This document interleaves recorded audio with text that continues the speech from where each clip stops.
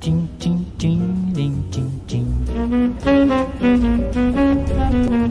Ding, ding, ding, ding, ding, ding.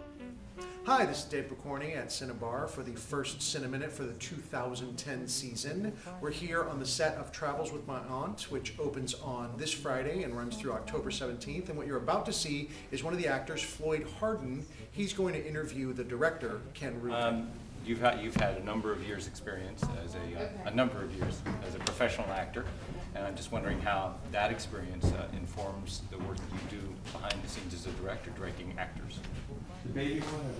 I try not to do the things that the directors I hate did to me.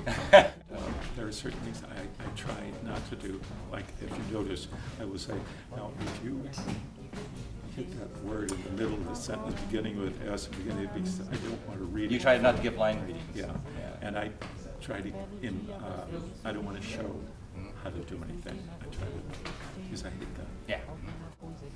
And what is it you enjoy most about directing either this or uh, any other production you've directed? What is it about directing uh, versus acting? Uh, that you enjoy more.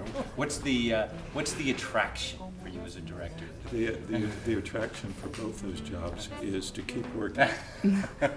That's it. And you enjoy the work. doing things. I assume you enjoy the What work. else could I do? Yeah, I know, I know. I feel Somebody said, I was watching something on the Arts Channel with some old choreographer, and she was saying, you know, there are three people in the profession, those who do it as, it's a habit, for some, it's a hobby, and for someone, for someone like me, it is my life.